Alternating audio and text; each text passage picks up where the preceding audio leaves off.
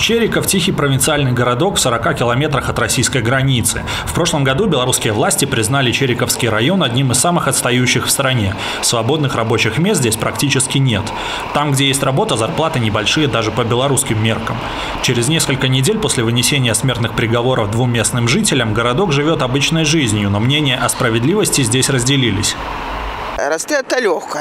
Так он туда в север завезли и выпустили в тундру, чтобы они там пом- помирали, как ена. По-моему, они вполне заслужили. Им Они еще молодые, как я ну, знаю.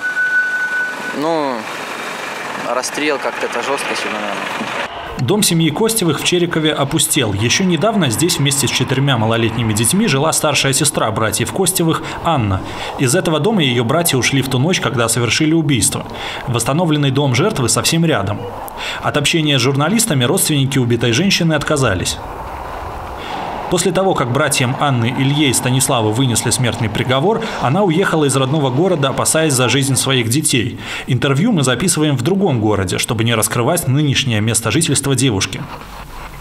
Когда все в апреле произошло, начались угрозы в соцсетях. Там мы и тебя убьем, и детей твоих, и, и мрази, и твари. Ну, то есть, что и нас всех надо уничтожить, убрать.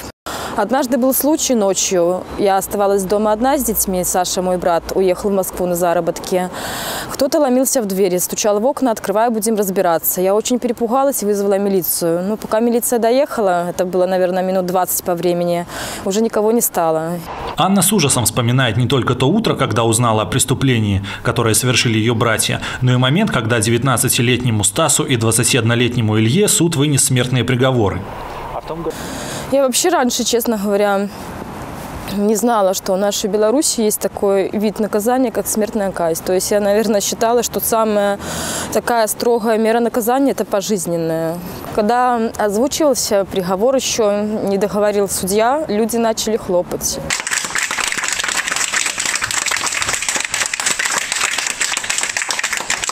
Несколько месяцев назад Анна узнала, что родственников осужденных на смертную казнь в Беларуси не уведомляют ни о дате, ни о месте расстрела.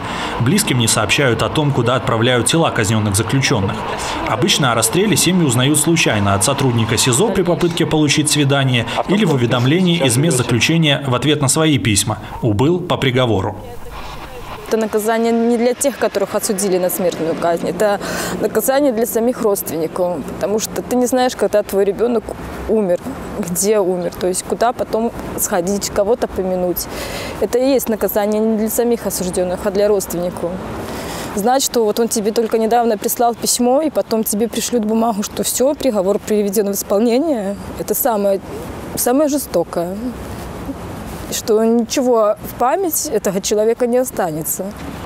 Мама Ильи Станислава Костевых, как и Анна, уже более полугода получает угрозы в соцсетях. пишут оскорбления, угрожают.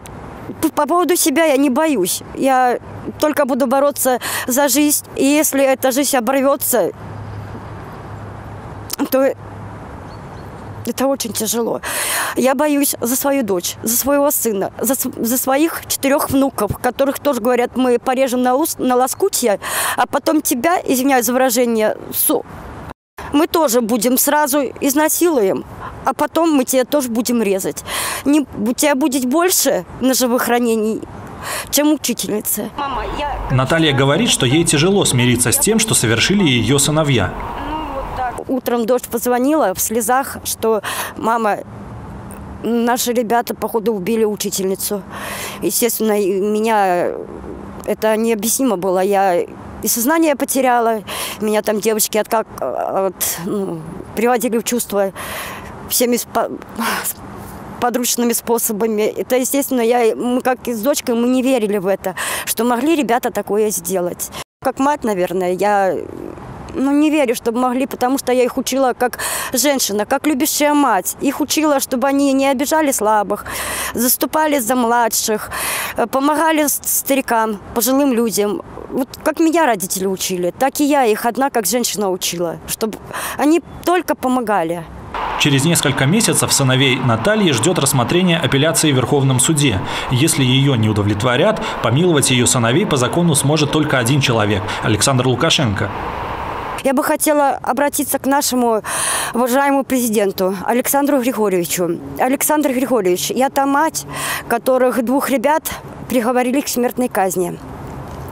Я очень сожалею в этом. Я их не оправдываю, не хочу оправдать. Да, они совершили очень жестокое преступление. И как я мать, я прошу у вас о помиловании. Беларусь остается последней страной Европы и СНГ, которая применяет смертную казнь. Власти страны не публикуют официальной статистики по судебным расстрелам. По данным правозащитников, с 1991 года по приговору суда в Беларуси были расстреляны более 300 человек. За все время своего правления Александр Лукашенко помиловал только одного приговоренного к смерти.